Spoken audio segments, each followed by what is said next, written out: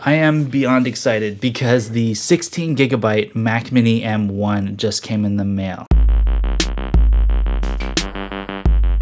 How's it going y'all? It is Ben Aqua and maybe you've been following the whole saga of the 8GB Mac Mini M1. Long story short, I love the 8GB Mac Mini M1, but there were certain things like Bluetooth issues and monitor issues and this and that. A lot of people were like, you have a dud. You need to return that 8GB model, get the 16GB model, Ben, what are you thinking trying to video edit with an 8 gigabyte model? What's wrong with you, Ben? So anyway, I ended up ordering the 16 gigabyte Mac Mini M1. I'm gonna be doing more in-depth testing and a proper review and some more content with the 16 gigabyte model. But in this video, I'm gonna be focusing more on unboxing this thing and the whole setup process so we can set it up together. So here we go, Mac Mini M1 16 gigabyte version. Let's see what's in the box. Here's the pleasing part. And here we go. This is the Mac Mini M1 16 gigabyte edition. Of course, it looks completely identical to the 8 gigabyte version.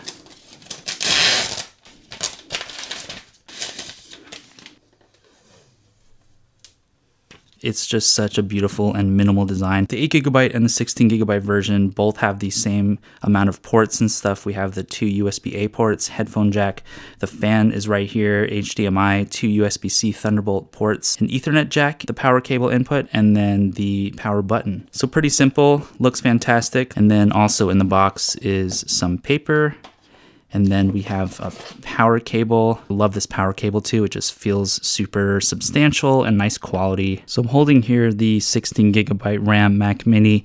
And as you can see, it looks very similar to the 8 gigabyte RAM Mac Mini, which I have here mounted under my desk. And I've also been working on my cable management, as some of y'all may notice. Um, I'm really trying to get everything just nice and kind of clumped down there cleanly. My goal is to have this really kind of minimal setup where the only things on my desk are this keyboard, the Logitech K380, Magic Trackpad 2, my LG 27 inch 4K monitor there. So once I get rid of that 8 gigabyte model Mac Mini over there, and I'll be returning that one and then using this 16 gigabyte model, hopefully that will solve a lot of the issues that I've been having with Bluetooth and Final Cut Pro. I also feel more like a grown up today because I finally got an upgraded office chair, the Herman Miller Aeron chair.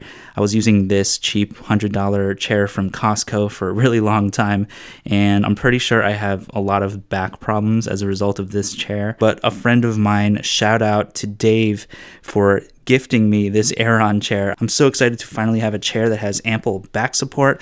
I like it a lot so far. I also have an autonomous Ergo Chair 2 on the way, so I'll probably be comparing this one to that Ergo Chair 2 when I get that. So the 8GB Mac Mini has been shut down, and I'm just going to take that same USB-C cable that I plugged in in that one, and I'm going to plug it into the 16 gigabyte Mac Mini, and I'm going to use the same power cable from the 8 gigabyte Mac Mini for the 16 gigabyte one. So that's plugged in. Let's power it on and see what happens.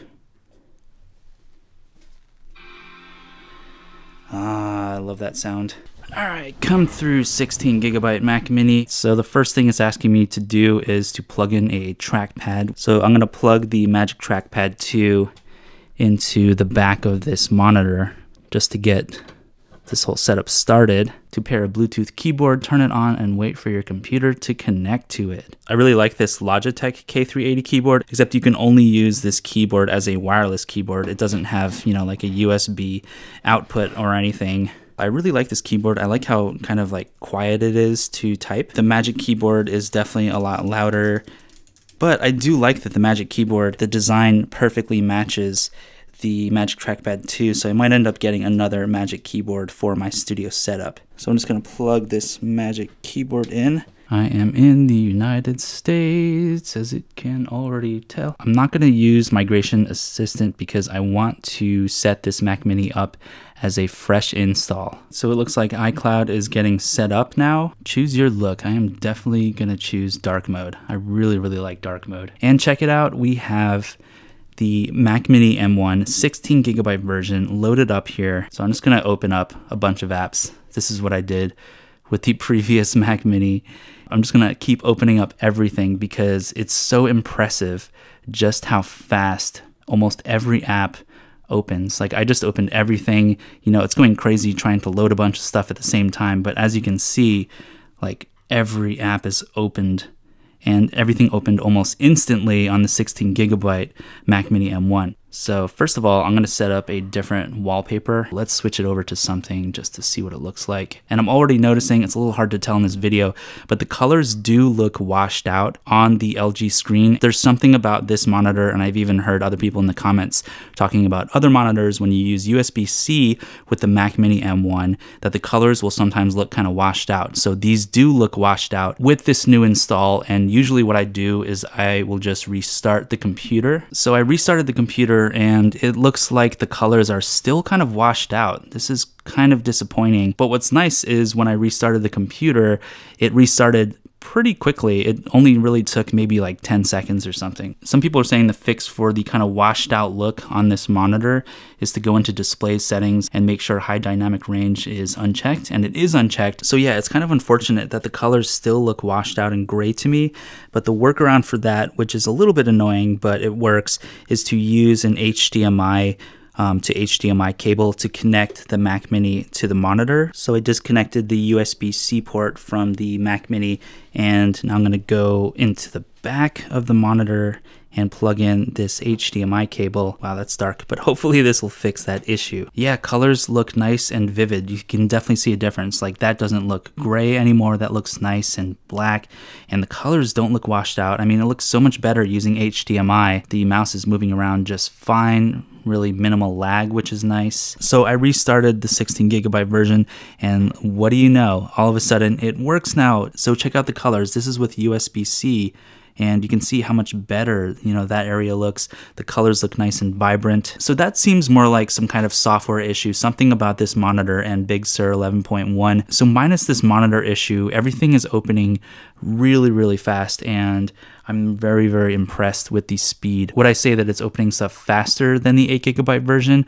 Not really. I mean, it seems just as fast. I think I'll see more of these speed differences when I'm doing more intense kind of editing, you know, like video editing or music editing. I'll also be testing out Ableton Live on the 16 gigabyte Mac Mini M1. Ableton Live, even with 8 gigabytes, worked totally fine. I didn't notice any audio dropouts with that. The audio dropouts I noticed were more with Final Cut Pro. And some of y'all were also talking about Bluetooth issues and how I should keep the Mac Mini M1 on top of the desk so there's less interference between the peripherals. I'll be doing some testing with the 16 gigabyte version on top of my desk and also in this little enclosure here under the desk to see if the Bluetooth issues are still there, if at all. I haven't really noticed any Bluetooth issues so far using the Magic Keyboard, Magic Trackpad 2 but I will definitely be reporting to y'all again with some updates coming up, so be sure to subscribe below. So first impressions of the Mac Mini M1 16 gigabyte RAM version, I am really impressed with how fast it is. Does it feel insanely fast, like much faster, noticeably faster than the 8 gigabyte model? Not really, honestly. It feels insanely fast though, and the big thing for me is going to be if Final Cut Pro works, because most of the reason I got the M1 Mac in general was to use it kind of as this beast mode pretty inexpensive computer desktop machine for my studio so that I can edit videos and photos and music. I'll also be testing those things out, especially Final Cut Pro, giving you an update if the 16 gigabyte version really did fix those RAM leakage, whatever kind of issues that I was having before. So down below in the comments, let me know what you would like to see me test on the 16 gigabyte RAM version of this Mac Mini M1. I am going to be returning, unfortunately, that 8 gigabyte version because I'm pretty sure that thing had like an evil hex on it it just seemed like, you know, a Ouija board could be moved around that would just say, get 16 gigabyte RAM, you fool. So anyway, thanks for watching. I hope this video was helpful. Be sure to subscribe and smash that like button. And one more thing, since you made it to the end of the video, I commend you. And here's just a little secret. This entire video was edited on the Mac Mini M1 with 16 gigabytes in Final Cut Pro, and there were no audio dropout issues. Thank you. Apple, thank you. We'll see you in the next video.